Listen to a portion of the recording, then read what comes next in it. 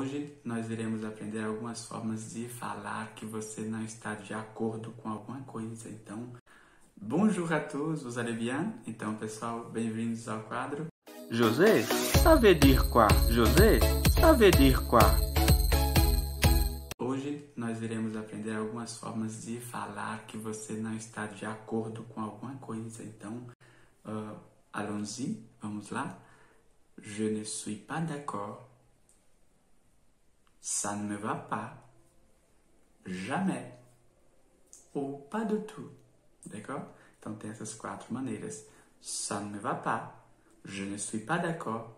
Pas du tout ou jamais. Ça va? Pratiquez et laissez dans les commentaires quelle est la façon plus facile.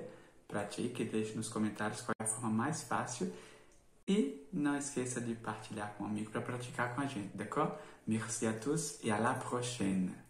Então, e lembrando que dizer não é algo que faz bem e é algo necessário para a nossa saúde mental. Então, saber dizer não é essencial, d'accord? Bonne journée à tous et à la prochaine.